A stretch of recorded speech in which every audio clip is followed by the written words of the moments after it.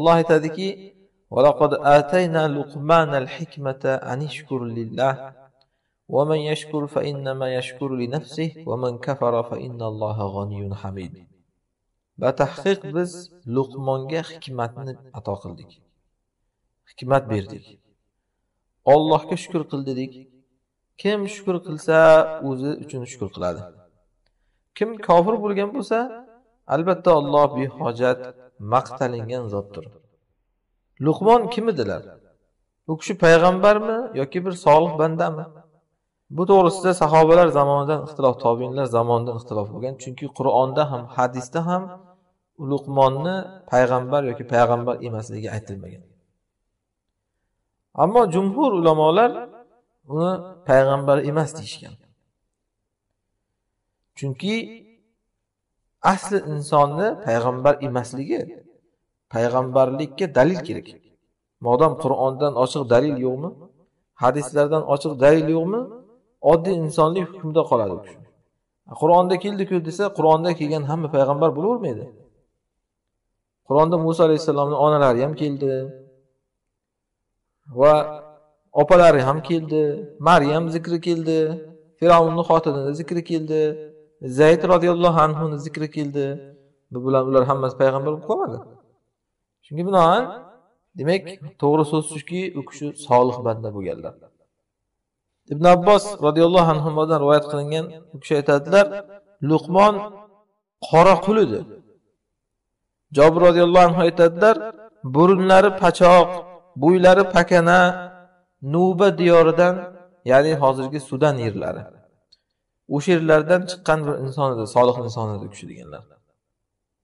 Ya'ni bir ko'rimsiz bo'yi pakana burunlari pachoq qop qora odam bo'lgan aslida. Lekin taqvodor olloh bir hikmat bergan zot edi. Bir kuni said ibn musayyab rahimaulloh oldilariga bir qora odam savol so'rab keladi.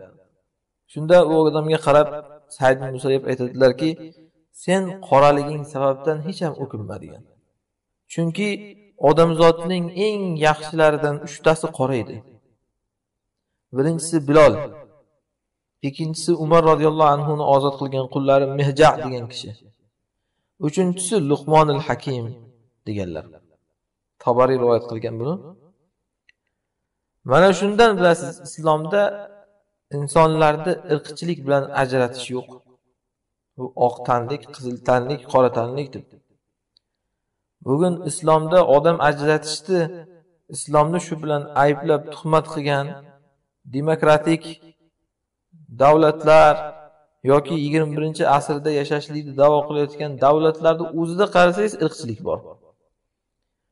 Haligacha qarasangiz mana demokratik deyilgan davlatlarda ham qoralarda ajratilinadi ularni odam o'rnida ko'rishmaydi. Va hatto mana bugun urush paytlarida ko'ryapsiz. Ularni og'zidan chiqib ketyapti. Olloh aytgandek akbar. Og'zidan chiqib ketgani bu hali ko'ngli berkitgani undan katta degan. Butun dunyoda shu paytgacha qancha musulmonlar bolalari o'ldi urushlarda. Qancha muhojirlar chiqdi. Hech kimni ishi yo'q edi ular bilan lekin bugun olti kunlik urush yetti kunlik urushdan keyin qarasangiz mana hamma yoqda muhojirlar bechoralar bolalar bechoralar degan davolar nimaga desa bular oqlarni bolasi ekan chunki. Musulmonlarni bolasi qoralarni qizil tanlilarni bolasi emas ekan bular. Mana bu ulardagi irqchilikka ochiq dalil. Aslida esa islomda hech qachon oqni qoradan ajratib uni qiyinchilik paytida ajratib qo'yish yo'q. Solih bo'lgan odam afrikalik bo'lsa ham qur'onda zikr kelar ekan mana abu dardo roziyallohu anhudan rivoyat qilinadi. U kishi aytadilar luqmon unga bir ahil mol obro' va boshqa xislatlar berilmagandi lekin u kana rojulan somsoma sikkita tovila tafakkuri amiqan nazar. Luqmon bor yo'g'i somsom odam edi somsom degani kamgap sukut qilib yuradigan tafakkuri uzun nazari chuqur kishi edi. Gapirishdan ko'ra ko'proq eshitardi va tafakkur qilardi. Unga berilingan hikmatni siri mana shu edi deyilgan. Shundan bilamizki abu dardo roziyallohu anhu gaplaridan odamni tilida gapi ko'p bo'lishligi miyasida gap kamligidan dalil. Tilida gap ko'p bo'lgan odam bu tafakkuri yo'q bo'ladi. Albatta botil gaplar behuda gaplarni nazarda tutyapmizda ya'ni. Odamni qanchalik miyasida gap ko'paysa shunchalik tilida gap kamayadi. Luqmon ham hakim mana lekin tilida gapi kam somsom degani og'zi yumuq odam edi. Juda ham kam gapirardi deyilgan. U kishini hikmatlaridan zikr qilishadi.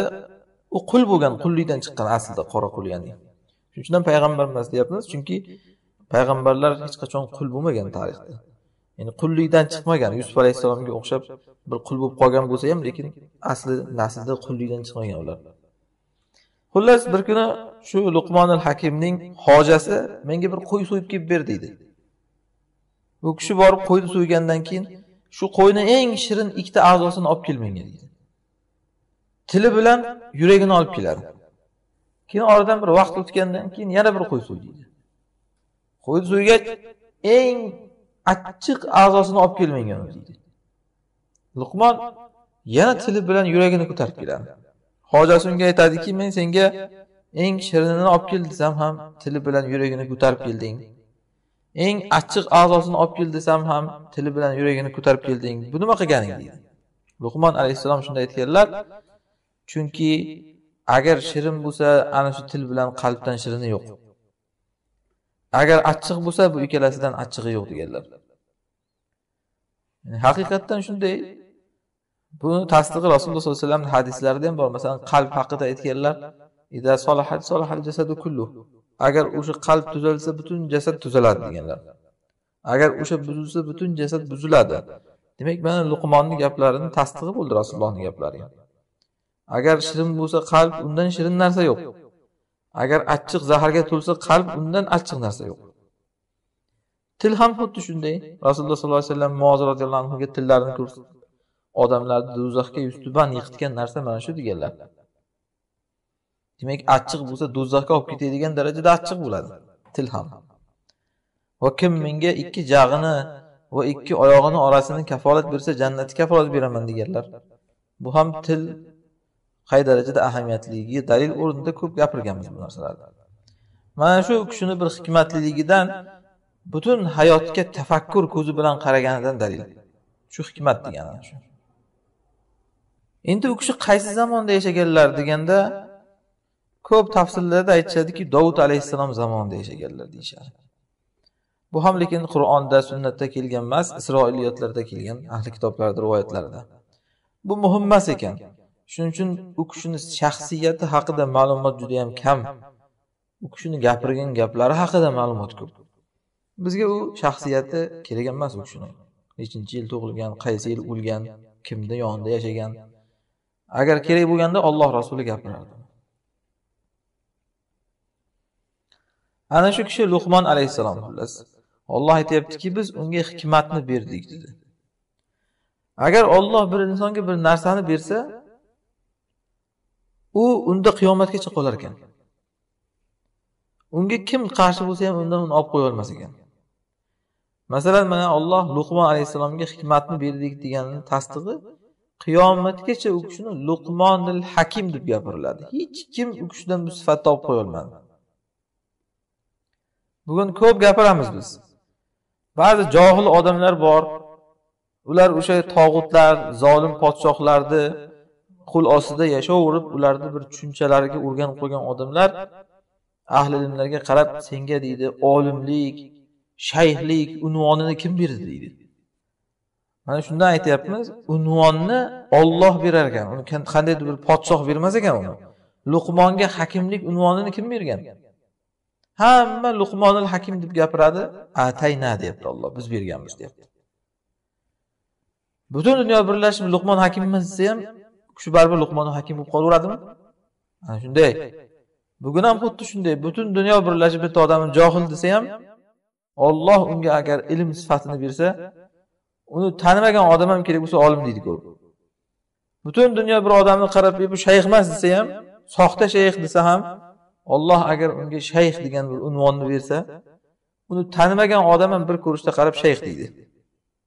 Uni qandaydir bir zolim podshoh kerak bo'lsa adolatli podshoh bo'lsa ham umuman insoniyat bermaydi bu mansablarni olloh beradi. Endi hikmat nima o'zi? Hikmat birinchi o'rinda fahm keyin ilm fahmlagan narsasini odam bilishi keyin ta'bir ya'ni tushungan bilgan narsasini tilda ifoda qilib bera olishi. Odamlar bunda har xil bo'ladi. Kimdir o'zi bir narsaga qarab to'g'ri tushunmaydi ham kimdir bir narsani o'rganib olgan noto'g'ri tushunib o'rganib olgan. Kimdir bir narsani tushungan bilgan lekin aytib berolmaydi hikmat ana shuni hammasi jamlanishi. keyin yana bir qo'shimcha joyi bor. aytib beroladigan odamlarda ham ko'p hikmatli bo'lmasligi mumkin. qachon? Agarda o'rnida aytishni bilmasa hikmat shuning uchun bunga qo'shimcha qilib aytiladiki narsani o'zining loyiq o'rniga qo'yish hikmat deyiladi masalan gapirganda o'rniga qarab gapirish. Hamma inson hamma e, ko'p inson olim bo'lishi mumkin. Lekin hamma olim ham hakim bo'lolmaydi ya'ni o'sha ilmini to'g'ri joyda gapirishni bilmaydi. Misol uchun podshohlarga borib ularni zulmini xalqi haqqini yeyotganligini gapirishni o'rniga ular yerdagi ollohni soyasi degan gaplarni unga gapirsangiz siz ana shu yerda hikmatsizlik qilgan bo'lasiz. Yaxshi siz bilibsiz podshoh yerdagi ollohning soyasi ekan. Qiyomatda arsh tagida turadigan insonlarning biri yettita toifaning biri imomi odil odil podshoh deyilgan. Lekin buni siz borib unga aytishligingiz narsani noo'rin joyga qo'yishingiz deyiladi. Siz unga borib odamlarni haqqidan qo'rqishini ana shunaqa narsalar zulmdan tiyilishni gapirishingiz kerak. Ana bu odamlar bilgan taqdirda ham hikmatsiz deyiladi. Shuning uchun aytyapmiz ko'p insonlar olim bo'lishi mumkin lekin hakim bo'lmaydi. Yoki shuni muqobilida bir odamlar bor g'uluv ketgan havorij takfirchi. Ularga borib siz faqat islomni buzadigan amallarni ridda kufr masalalarini gapiraversangiz hikmatsiz bo'lasiz. Chunki unda oshib toshib yotdi yetadi u takfir. Unga siz borib islomdagi bag'rikenglikdan gapirishingiz kerak. Ana shu hikmat deyiladi. Yoki mazlum xalqqa kelib sabrdan gapirsangizda zolimga ollohdan qo'rqishdan gapirmasangiz noo'rin qo'yyapsiz. Masalani to'g'ri bo'lgan taqdirda ham bu. Asli to'g'ri gaplar lekin noo'rin qo'yyapsiz. Mana bu hikmatsizlik deyiladi.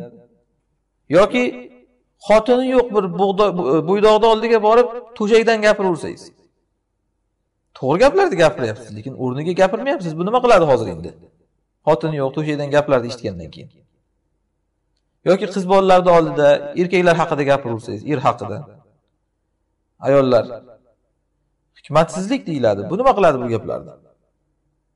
Uni u to'g'ri gap bo'lgan taqdirda ham foydasiga emas zarariga ishlaydi. Ko'p odamlarda mana shunaqa sohalarda bir farosat topilmaydi. Ana shuning uchun bu farosatni ham hikmat ostiga qo'shsak bo'ladi. Hamma gapni to'g'ri bo'lgan taqdirda ham o'rnini topib bilib o'rniga qo'yib gapirish ana shu hikmat deyiladi.